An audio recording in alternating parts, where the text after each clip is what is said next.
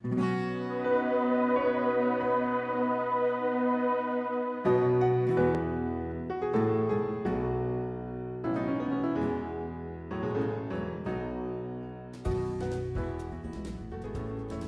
professora bibliotecária tivemos sempre um grande, uma grande preocupação em articular todas as atividades que se faziam na biblioteca eh, com as atividades que decorrem em sala de aula.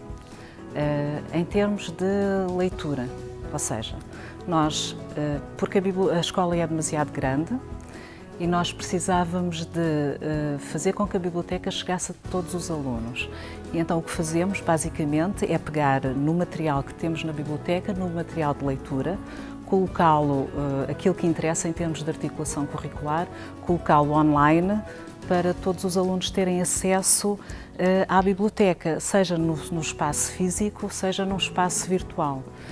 o que nós fazemos é projetos de leitura, Selecionamos os textos, textos informativos articulados com o currículo, informamos os professores através de e-mail, os professores passam a informação aos alunos, eles leem os textos e respondem a, a, questionários de resposta fechada. Quando este primeiro processo está concluído, os questionários são corrigidos na biblioteca escolar, agora já passamos para o Flubaru, e, e são reenviados aos professores com as respectivas uh, classificações.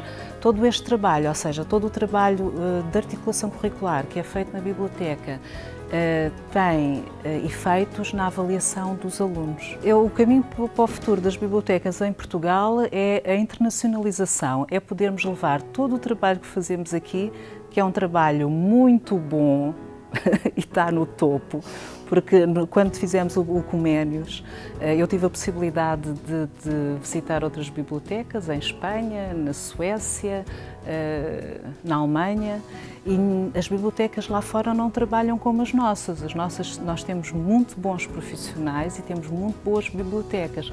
Então eu acho que o futuro é isso, é nós levarmos os outros virem cá aprender connosco.